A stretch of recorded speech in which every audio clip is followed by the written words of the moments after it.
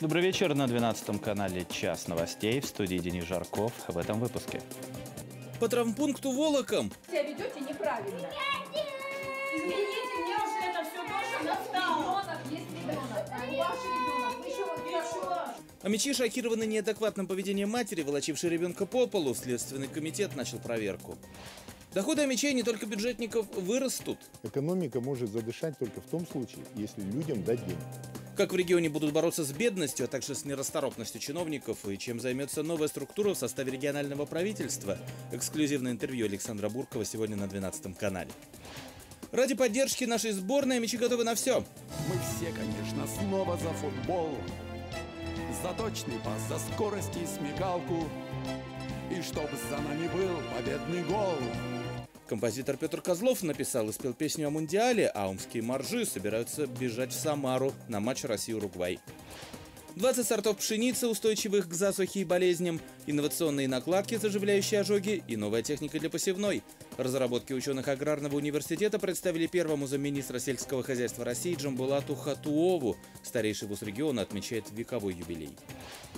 После «Золотого голоса» Бабкиной, а мечей ждет «Серебро». Какие звезды выступят на День города в этом году? И за баранкой с хвостатым напарником. Поцелуй. Как ты меня любишь? Вот так, вот так сильно. Ой-яй-яй. По Омску ездит маршрутка с необычным экипажем.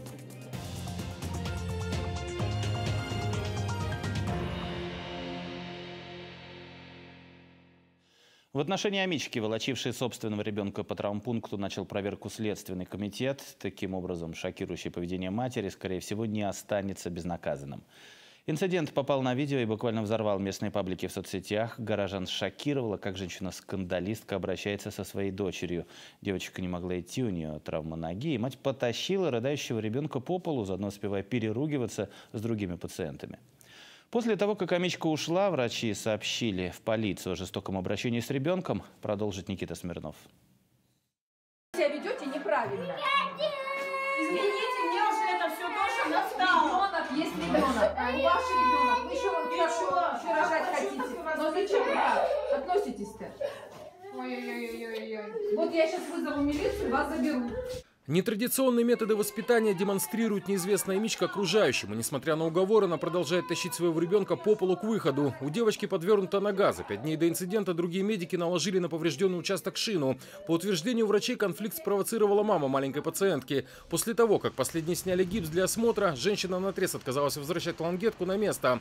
По неизвестным причинам она в грубой форме потребовала больше не вмешиваться в лечение дочери и попыталась уйти с плачущим ребенком. Такое агрессивное поведение сотрудников больницы шокировало шокировало. Впрочем, второй участник конфликта, травматолог с 30-летним стажем Антонина Лагунова, даже оправдывает своего оппонента, ссылаясь на ее состояние. Скандалистка находится на последних месяцах беременности. Может быть, она устала, я не знаю. Может быть, у нее такая реакция, может быть, как-то психологически ей тяжело, что она беременна, еще и этот ребенок с гипс. Из моего опыта, я думаю, что тут, конечно, нужна психологическая помощь. Ролик взорвал и соцсети. У одних пользователей это видео вызвало шок, у других недоумение. Обсуждение продолжается уже вторые сутки. Представить страшно, что она со своей дочкой делает дома, когда никто не видит. Пусть накажут такую мамашу и ее войлоком потаскают за ручонки. Как же она хотела, привела и сразу в кабинет зашла. Если ей нужно, так вызывай скорую, пойдешь без очереди. А так все сидят и ждут терпеливо. Есть у кого похуже боли. Теперь, чтобы разобраться в происходящем, женщину ищут следователи. К агрессивной Амичке у правоохранителей появилось несколько вопросов. Следственные органы Следственного комитета России по Омской области организовали доследственную проверку.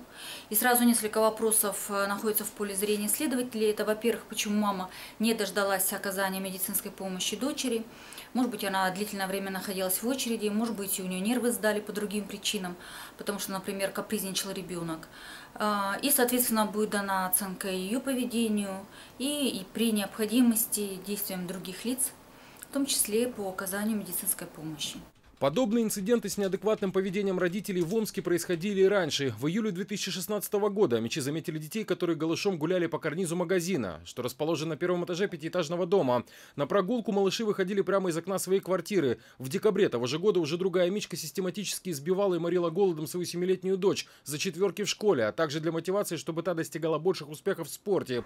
А в январе 2017 года пьяная сельчанка избила своего сына кочергой и выгнала на улицу в домашней одежде и без обуви за то, что он упрекнул мать мать в алкоголизме. На нее завели уголовное дело и изъяли ребенка. Та же участь может ждать и мать-скандалистку из травмпункта. По результатам доследственной проверки силовики будут решать вопрос о возбуждении уголовного дела.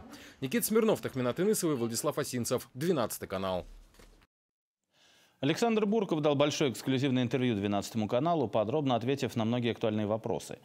Какова логика принимаемых властью решений? Какие проблемы прежде всего беспокоят главу региона? Например, сенаторы, министры, депутаты, главы районов и небольших сельских поселений теперь будут работать в единой команде.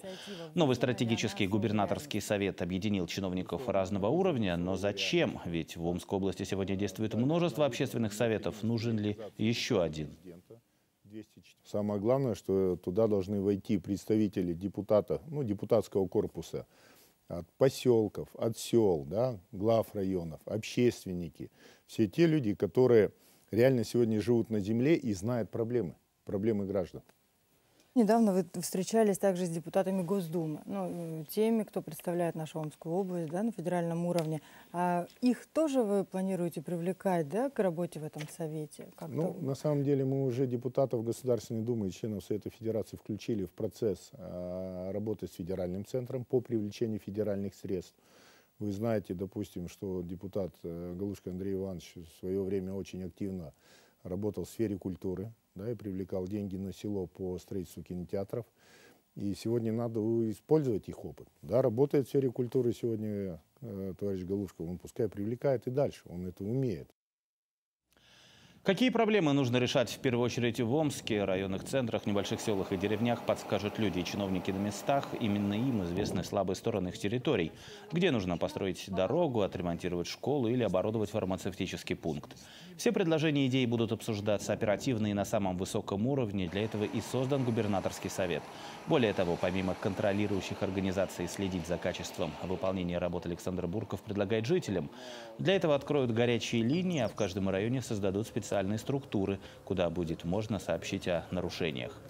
Сейчас важно, пояснил Бурков, не только привлекать как можно больше федеральных средств в регион, но и полноценно их осваивать, чтобы не повторять ошибки прошлых лет, когда миллионы рублей пришлось возвращать только из-за того, что чиновники попросту не успевали их тратить по назначению. Для меня это было тоже дико, когда мы по дорогам э, в области не смогли освоить миллиард рублей. Ну вот просто не успели подготовить документацию, не успели защитить проекты, да, и предоставить это там федеральный центр. Ну что, это нерасторопность чиновников? Кто виноват? В первую очередь э, нерасторопность чиновников, которые привыкли, ну, может быть, делать это спустя рукава. Мы также э, по прошлому году потеряли 300 миллионов рублей на строительство. Не была закончена поликлиника в городе Омске на левом берегу на тысячу посещений. И уже не первый год, да. Не был закончен театр «Галерка». А, дальше. Э, здание страхового общества «Саламандра», где, будет, где должен размещаться сибирский Эрмитаж, тоже не было сделано. Мы заплатили штрафы в федеральный бюджет. Это действительно нонсенс. Ну вот в этом году я убежден, что мы сейчас э, все-таки закончим и поликлинику, закончим и галерку. Саламандра уйдет у нас на 2019 год, как было в планах. Но мы освоим деньги. Освоим и федеральные средства, и областные. Еще одна важная задача новой структуры губернаторского совета – исполнять майские указы президента. Первоочередные – снизить уровень бедности в регионе, повысить заработные платы людей. Здесь речь не только о работниках бюджетной сферы, отметил Бурков, где у правительства области есть рычаги управления, но и о частных компаниях. Как вывести эту сферу из тени, сделать зарплаты белыми, но главное – достойными? Задача выполнимая, заверил глава региона. Действовать нужно по закону. Мы говорим о подъеме экономическом не будет у людей денег, не будет никакого подъема. Экономика может задышать только в том случае, если людям дать денег. Поэтому э, рост зарплаты, он обеспечивает и экономический рост. Это все взаимозависимость. Вот. И поймите, сегодня другого выбора нет. Или мы оставляем деньги из сверхприбыли, полученные на территории области, э, здесь, так, на нашей земле, или это уйдет через э, там, банковские счета олигархи выкачают на Запад. Итак, глава региона расставит акценты в большом эксклюзивном интервью 12 каналу. Смотрите сразу после этого выпуска новостей. И сегодня стало известно, что глава региона подписал указ о дополнительной мере социальной поддержки, и он уже вступил в силу. А мечам, у которых рост платежей за коммунальные услуги превысил предельные индексы, выплатят компенсацию. Право на получение выплат имеют жители области, у которых общая сумма квитанций за коммуналку в каждом месяце с января по июнь 2016 года увеличилась по отношению к размеру совокупной платы за коммунальные услуги в декабре 2015 более чем на утвержденную величину предельного индекса. За компенсациями, чем могут обратиться в многофункциональные центры по месту жительства. Подробную информацию о новой мере поддержки можно получить по телефону единой справочной службы Минтруда 37 40 09. Бессонная ночь ждет томских любителей футбола. Все внимание болельщиков сегодня приковано к Санкт-Петербургу. Сборная России сыграет здесь второй групповой матч со сборной Египта. А мячи могут посмотреть прямую трансляцию на стадионе «Красная звезда». Начало в полночь, как и в день открытия чемпионата. Сегодня здесь ожидается аншлаг. Российские футболисты обещают снова порадовать своих болельщиков, которые, к слову, этого достойны. Сейчас фанаты по всему миру демонстрируют необычные способы поддержки чемпионата. Не отстают и изобретательные мячи, и песню про футбол сложат, и на матч в другой город за пару тысяч километров от Омска сбегают.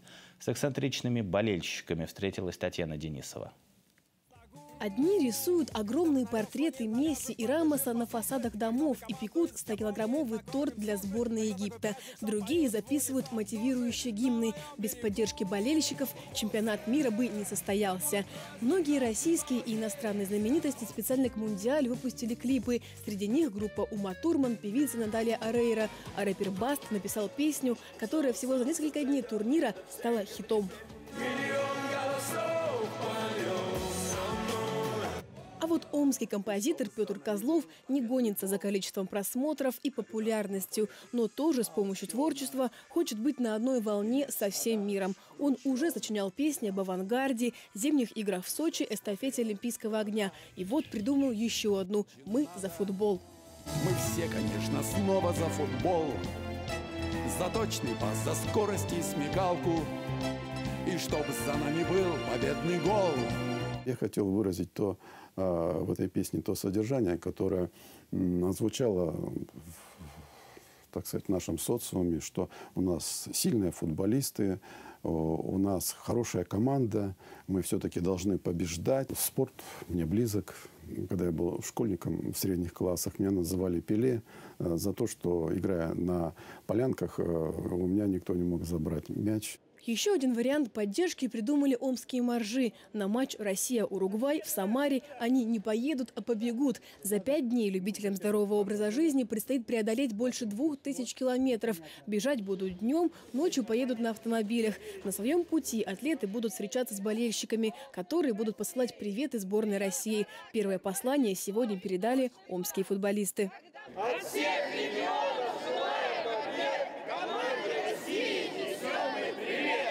Это уже не первый пробег моржей. Зимой 2014-го они также добирались до Сочи. В Самару стартуют с Исилькульского тракта. До этого разминка по городу. Пробежали от стадиона «Красная звезда» до Ленинградской площади. По дороге? Ну, так по дороге происходит.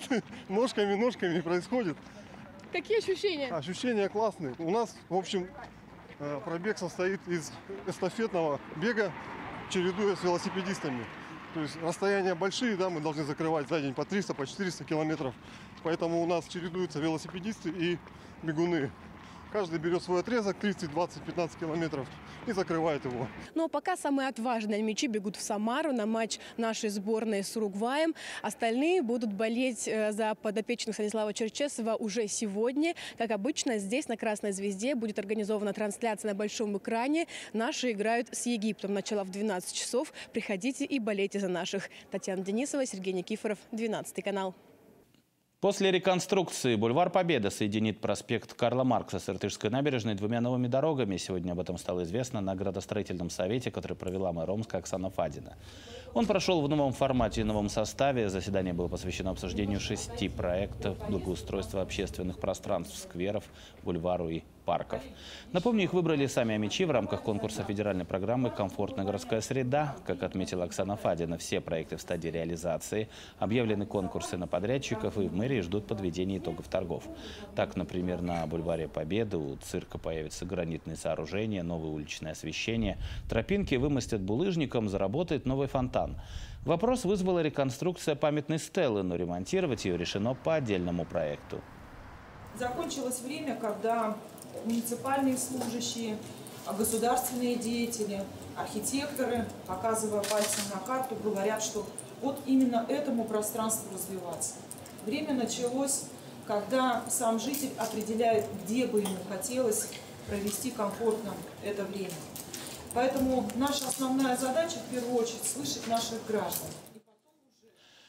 Напомню, что в Омске к следующему лету благоустроят еще пять объектов. В Центральном округе бульвар Мартынова, в Ленинском таким станет парк семейного отдыха на Московке-2. Он расположится в границах Сибирского проспекта. В Октябрьском округе предстоит выполнить работы по благоустройству сквера ветеранов авиации «Крылатое братство» между Космическим проспектом и улицей Петра Осминина. Советский округ порадует мечей реконструированным проспектом культуры, а Кировский – сквером героев-авиаторов. Гагарина, Серебро и Градусы стало известно, какие звезды выступят перед мечами на День города 4 августа.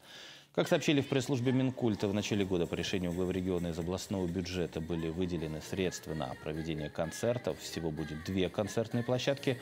Возле арены Омск состоится музыкальная молодежная программа «Новая волна», где выступит группа «Серебро». Здесь установят современное музыкальное световое оборудование и один из самых больших видеоэкранов Сибири. В Омской крепости поздравлять горожан будут Полина Гагарина, а также группа «Градусы». Концерты завершатся грандиозным салютом. Лазерным и световым шоу началось торжественное празднование столетия Омского аграрного университета. Вековой юбилей отметили в концертном зале. Здесь собрались и действующие преподаватели, студенты и ветераны. Омский аграрный университет входит в топ-100 лучших высших учебных заведений России и является кузницей кадров не только для Омского региона, но и всей страны. Черная фасоль для диабетиков и фиолетовая пшеница полезная при малокровии. За столетнюю историю в Омском аграрном создали десятки уникальных разработок. Самое интересное сегодня показали первому заместителю министра сельского хозяйства России. Джамбулат Хатуов прибыл в регион с визитом. Он уже обсудил с главой региона посевную кампанию и отметил, что раз из-за погоды она стартовала позже, решение поменять структуру севооборота и вместо части культур посеять однолетнюю траву, чтобы избежать нехватки кормов, было правильным. В целом регион получил высокую оценку со стороны Метельхоз России. Это касается и экспортного потенциала, и семеноводства. Что же за чудо-семена выводят в Омском аграрном, расскажет Тахмина Тенысова. И обращая внимание на сорт лукерия черной окраски, э, мы можем сказать, что данные семена содержат э, повышенное содержание альфа-линолевой кислоты. Вы знаете, что это такое. Это первый сорт с черной окраской вообще в государственном реестре. Фасоль насыщена альфа-липоевой кислотой. Это жирорастворимый витамин, который используется при лечении печени, помогает вывести токсины, шлаки, желчь, а в некоторых случаях способна заменять инсулин диабетикам. И такая фасоль выросла на опытных полях Омского аграрного университета. Но не только она обогащена полезными веществами. Это фиолетово-зерная пшеница, тоже разработка омских специалистов. Она обладает антиоксидантными свойствами и в будущем также будет полезна для людей, страдающих малокровием. Это сорт с высоким содержанием антоциана, э, содержание цинка и железа, потому что во многих регионах мира, особенно Ближний Восток, там дефицит цинка, э, железа, анемия. А люди бедные, они чем в основном питаются? Хлебом. Э, поэтому вот эта проблема, мы над ней работаем и уже создали сорта. И не только фиолетовую пшеницу создали в Омском аграрном университете, но и зерна, которые устойчивы к засухе, болезням, то есть с высоким уровнем иммунитета и мощной корневой системой. Есть и сорт, засеяв который лишь раз, урожай можно собирать еще лет семь. Это так называемая альтернативная пшеница, которую амичи создали совместно с научным американским центром. И если на опытных полях университета пшеница апробацию прошла, то теперь она должна пройти и государственные испытания. Сегодня была демонстрация тех достижений научных, которые произведены на опытной площадке Омского Государственного аграрного университета. Э, мы сегодня имеем десятки сортов, выведенных именно в ОМГАУ, да, которые используются в Сибири, востребованы, которые востребованы в Северном Казахстане и также для центральной полосы России. Нам сегодня приятно было слушать наших уважаемых академиков, ученых, которые подтвердили, что они находятся в большом творческом процессе, что они принимают сегодняшний новый вызов по селекционным достижениям. И стратегия развития изменения структуры севооборота региона и в целом Сибирского федерального округа, она будет связана прежде всего с новыми сортами, с культурами, которые будут востребованы не только на российском, но и на зарубежных рынках. Семеноводство не единственное направление, которым занимаются сотрудники Омского аграрного университета. Например, сейчас ученые проводят серию экспериментов, чтобы запатентовать свою разработку. Новый способ лечения ожогов с помощью гелевого бинта, который не требует перевязок. Кроме того, в день празднования столетия университета в его стенах открылась новая ветклиника, в которой студенты могут проходить не только производственную и научную практику, но и осваивать узкие специальности, например, УЗИ и рентгенография. Тахмина Тынысова и Павел Манжос, 12 канал. С подозрением на клещевой энцефалит госпитализировали девятерых хомячей. Еще у 13 медики подозревают клещевой боррелиоз. Об этом сообщили в областном управлении Роспотребнадзора. Сейчас пик сезона клещей от них уже пострадали 2240 хомячей, 815 из них – это дети. Притом, по статистике, каждый сотый клещ является переносчиком заболеваний. Тем не менее, в прошлом году паукообразные были активнее. В это же время от них пострадали на 300 человек больше. Добавлю, что в регионе обработано 1676 гектаров. Это места массового отдыха, парки, скверы и летние оздоровительные учреждения. Уроки яхтинга от гуру парусного спорта. В Черлаке открылся международный детский лагерь под руководством знаменитого капитана яхты «Сибирь» Сергея Щербакова. В программе гонка новичков, черлакская регата и даже виндсерфинг. Обучаться аверштагам – это разновидность маневра на яхте. Сюда приехали полсотни ребят из Омска, районов области и Казахстана. В Павлодаре даже хотят открыть секции парусного спорта по примеру омских. Своя парусная школа или даже клуб могут появиться и в Черлаке. Есть омских яхтсменов и более смелые замыслы. В следующем году стартует масштабная экспедиция по маршруту Сибирь-Антарктида. Елена Смирнова прокатилась под парусом и узнала все о тонкостях водного спорта и грандиозных планах омских яхтсменов. Оптимисты, от красного до красного пробный круг, потом скажу, что делать. В Черлакской акватории лучи, оптимисты и кадеты. Так называются классы яхт, которыми управляют начинающие мореплаватели. Иртыш на время стал ареной для гонки новичков. К слову, начинать проще всего с оптимиста, говорят спортсмены. Эта яхта легче, чем тот же луч. Площадь ее гафельного четырехугольного паруса меньше, чем треугольного бермудского. И кренит луч, соответственно, сильнее. Что нужно делать, если яхта перевернулась? Как спасаться? А, вот тут все привязано, чтобы не Просто, когда она перевернулась, э, ты же э, выпрыгиваешь сразу из нее, она перевернулась до конца, встаешь на нее, держишься за шверк, наставляется сюда шутовой колодец. Вот так вот за него медленно поднимаешь яхту. Потом вот этим черпаком отчерпываешься и все. Отрабатывать оверштаги, аверкили и фандервиды – это разновидности поворотов. Ребята здесь будут всю неделю до выходных. В программе также черлакская регата, победители которой примут участие во всероссийских гонках. Разгуляться позволяет акватория и вполне возможно, что вскоре в Черлаке откроется собственный яхт-клуб или школа парусного спорта. У нас вот, вот здесь замечательный эллинг когда-то был, который водно-моторная станция. Сейчас мы прорабатываем вопрос с собственником этого эллинга – у нас есть э, люди, э, дети, которые занимаются э, судомоделизмом и готовы тоже обратить свое внимание и заниматься, ну не только эти, заниматься парусным спортом. Возможно, кто-то из тех ребят, кто сейчас только встает под пару, спустя годы станет к штурвалу легендарной Сибири, жемчужины или мечты. Мы, например, находимся на носу яхты «Мечта». Должна сказать, что для человека неподготовленного даже забраться на яхту оказалось делом непростым. Так что, возможно, я здесь и останусь. Ну а омский экипаж на яхте «Сибирь» прибудет к устью Оби, откуда на яхте уже «Сила Сибири» отправится по уникальному маршруту первооткрывателя Антарктиды. Стартует двойная полярная экспедиция, посвященная открытию Антарктиды в следующем году. Соответствующая всем требованиям яхта уже куплена и сейчас находится в Средиземном море. К осени ее доставят в Петербург или Калининград. Зимой судну предстоит реконструкция и подготовка. 28 января 2020 года омские мореплаватели планируют быть примерно в той же точке, куда 200 лет назад первыми в мире прибыли Лазарев и Беренсгаузен. Это очень масштабное, ну, такое глобальное мероприятие, которого в жизни у меня не было. Экспедиция, первая экспедиция, открывшая Антарктиду, Лазарем Беллингаузен, она стартовала из Кронштадта. Вот. Мы собираемся стартовать э, с, первоначально из Кронштадта, но зайти сначала к нам в Сибирь. У нас получается два витка вокруг планеты. Вокруг Северного полюса, вокруг Арктики. И потом в меридиональном направлении к Антарктиде. После «Сила Сибири» обойдет вокруг Антарктиды и вернется к Устью-Аби. Финиширует грандиозная экспедиция осенью 2020-го. За все время их смены преодолеют 45 тысяч морских миль. Елена Смирнова, Дмитрий Храмцов, 12 канал. Водитель с собачкой в Омске замечен необычный маршрутчик. Баранку микроавтобуса Олег Попов крутит в компании той терьера по кличке Чарли Коллегович. Рулить собака не мешает, а спокойно сидит на подушке у ног хозяина. Не пугает пес и пассажиров, наоборот, задает настроение.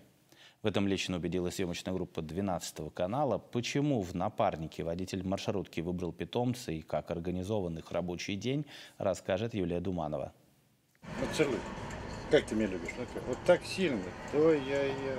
В этой маршрутке сразу два пилота. За рулем Олег Попов, не артист цирка, водитель с 40-летним стажем. Рядом той-терьер по кличке Чарли Коллегович-2. Отчество в честь хозяина. Цифра означает, что пес такой породы у мужчины второй. На работу вместе ходят каждый день, вот уже полтора года. Все потому, что оставаться один дома Чарлик отказывается. Песни поем, воем, лаем, гавкаем, соседям не даем житья. А детских садиков еще не придумали для собак.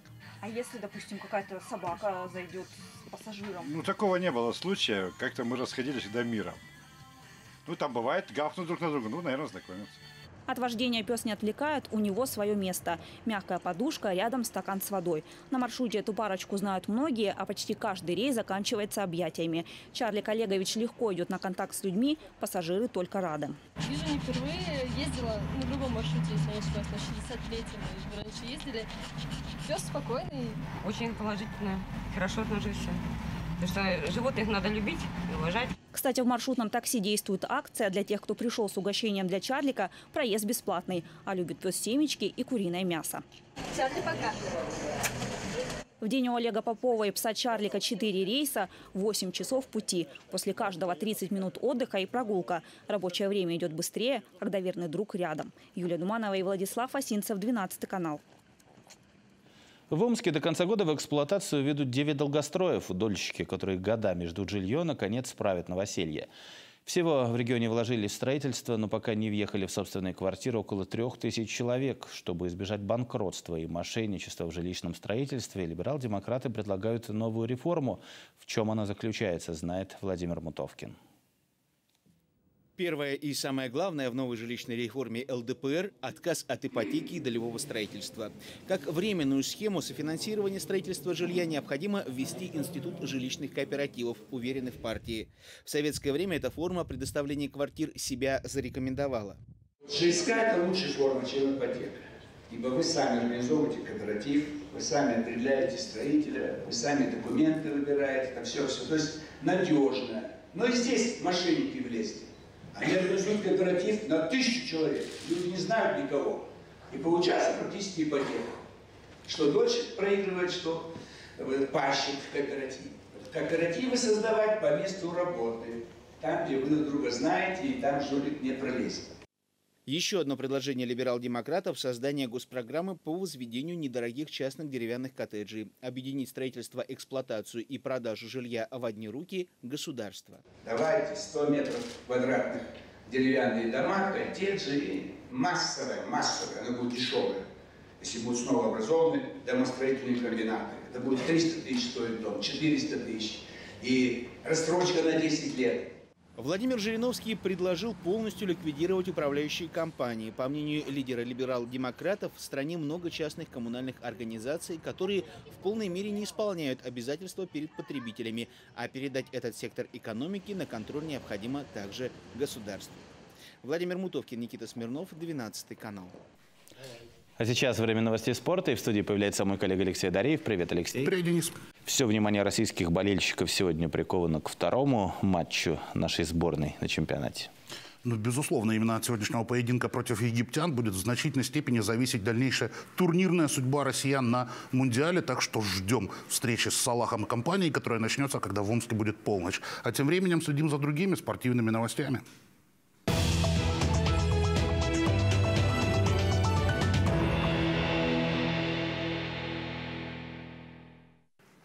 Шестой из 11 этапов чемпионата и первенства Омской области по мотокроссу прошел в районном поселке Кормиловка. На одной из самых зрелищных мототрасс региона, насыщенной сложными препятствиями, состязались 68 спортсменов, представлявших 9 команд из Омска и районов области. Гонщики выступали в 8 категориях. По итогам состязаний победу в общекомандном зачете одержала команда КГБ «Рейсинг» из Омского района. Серебро взяли хозяева трассы, кормиловцы. Третье место досталось гонщикам из Тюкалинского района. Определились чемпионы Омской области по спортивно-прикладному собаководству. За награды соревнований боролись около трех десятков спортсменов вместе со своими верными четвероногими друзьями. В этом году выросло количество участников. Организаторы дали возможность попробовать свои силы не только взрослым, но и молодым спортсменам и даже детям. Конечно, они проходили испытания по упрощенной программе. А самой юной участницей стала восьмилетняя Рената Ричапова, выступавшая с Шелти по кличке Бума. Чемпионом Омской области среди мужчин стал Сергей Бурим со своим верным Малинуа Фаером. Второе место занял Иван Першин и его немецкая овчарка Бетти. Бронзу получили Иван Заславский и его немец Браун. У женщин не нашлось равных Марине Лебедевой и ее немецкой овчарке Рэю. На пьедестал поднялись и еще две владелицы собак этой породы. Вторыми стали Жанна Капелюшок с Альмой, а третьими Юлия Горячева и Эльза. По словам руководителя областного центра спортивно-служебного собаководства Оксаны Раздорской, цитирую, соревнования прошли просто замечательно. Было очень интересно, все получили получили массу позитива. Конец цитаты.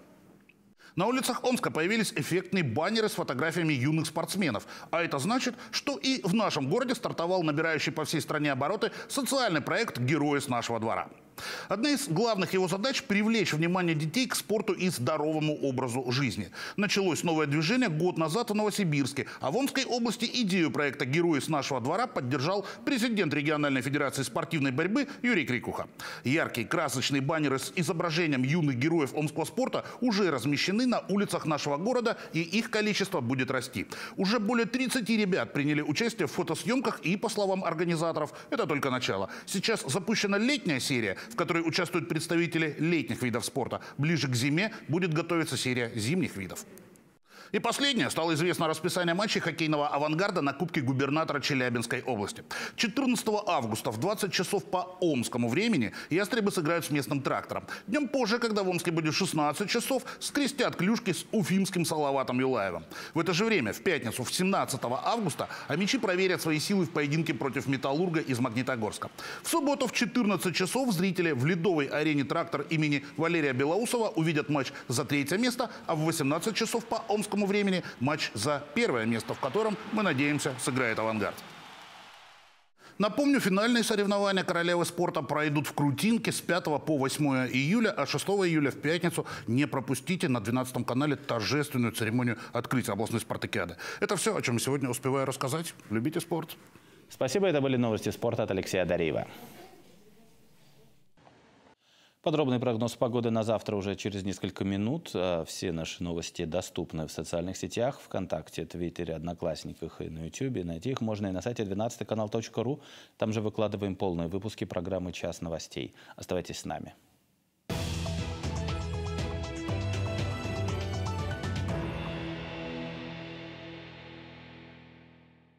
Омск Сайдинг Инвест. Металлочерепица, профнастил, окна ПВХ. 999-222.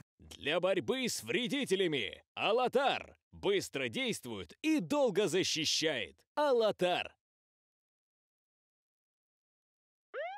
По здоровью есть вопросы. 48 38 38. Ходил раньше Денис из Крутинки за тысячу верст за ценами выгодными. А теперь выгодные цены прямо возле дома. В низкоцене, что и склад, и магазин. Здесь печенье топленка бум! Всего 70 рублей за килограмм.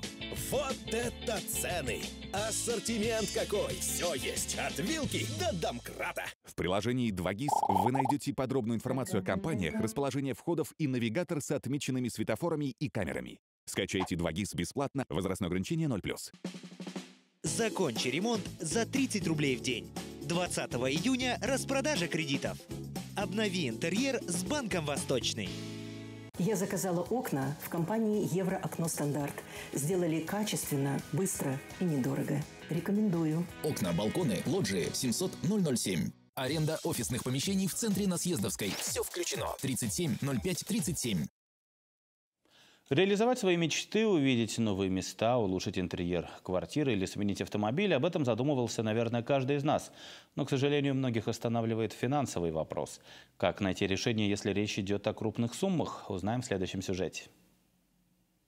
В Банк Восточный за оформлением кредита нередко обращаются люди с самыми разными потребностями. И иногда им требуются не стандартные суммы в 100-200 тысяч рублей, а значительно больше. В случае, когда есть необходимость даже в нескольких миллионах рублей, Банк Восточный предлагает кредит под залог недвижимости. Оказывается, сегодня квартира или загородный дом – это не просто стены и крыша над головой, но и способ сделать ремонт, сменить авто, съездить в путешествие или даже все это сразу. Максимальная сумма кредита, которую можно получить под залог в Банке Восточный, составляет 30 миллионов миллионов рублей, а ставка начинается от 9,9% годовых. Эти два фактора плюс неограниченные возможности использования денежных средств обеспечивают кредитную популярность.